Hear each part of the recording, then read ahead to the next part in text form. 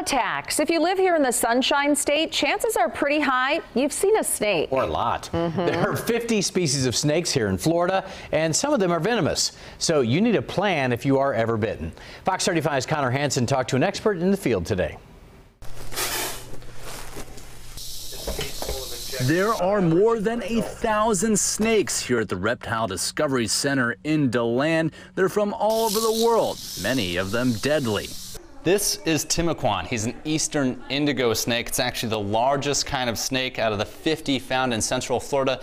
He's not venomous, luckily, but there are four breeds that are here coral snakes, pygmy rattlesnakes, the eastern diamondback, and the cottonmouth or water moccasin. Even a very minor snake bite can still be a medical emergency. Snake venoms are complex cocktails of proteins and enzymes, toxins, and um, they, this is a multi-systemic poisoning in many cases. You're, you're being affected at a number of levels. Carl Barden runs the center and the Toxin Venom Lab, and he should know Barden has been bitten nearly a dozen times. Snake bites hurt. Um, they're frightening. You're, you're, never entirely sure what the outcome is going to be, so you, have just uh, kind of turned into a walking chemistry experiment.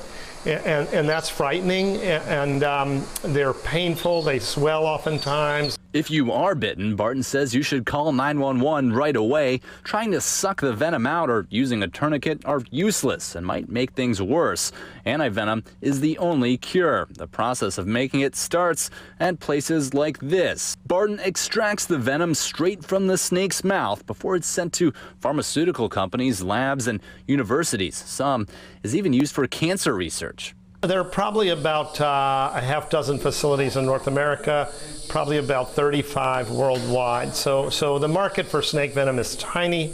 It's very specialized. In Volusia County, Connor Hansen, Fox 35 News. Lou, that's a job I don't want right there. Thank you. Carl Barden says snake bites are pretty rare and snakes typically won't attack unless they are provoked.